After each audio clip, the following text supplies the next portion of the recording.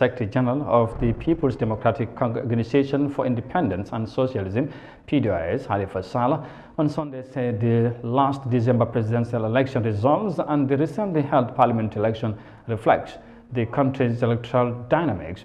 Mr. Sallah made these remarks at a press conference convened by PDOIS and APP and Youth for Change to update the nation on the second phase of the electoral process.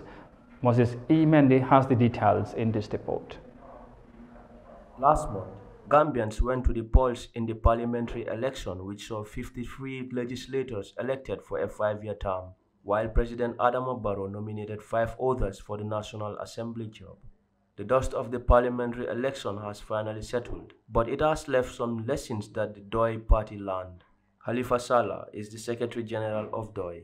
So essentially, uh, it is important to be strategic in finding candidates. It does not mean that in National Assembly elections, you will find candidates in all constituencies.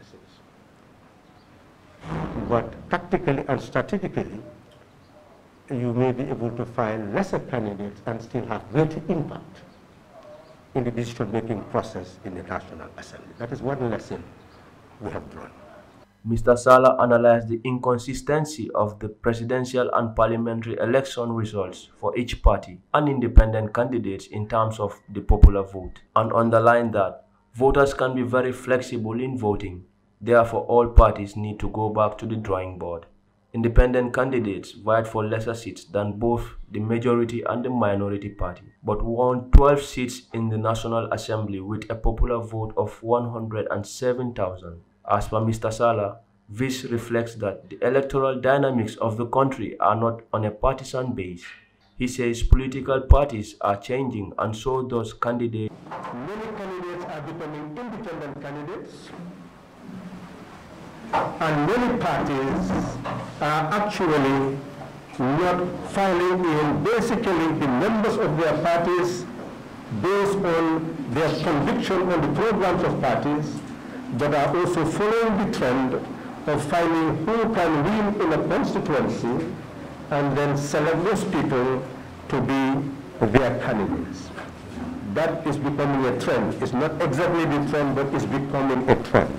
Switching to the type of democracy in the Gambia, he said Gambian electorates are hooked to formal democracy rather than substantive democracy, which leaves room for incompetent candidates to be elected based on popularity instead of competence. Substantive democracy, also referred to as functional democracy, is a form of democracy that functions in the interest of the governed.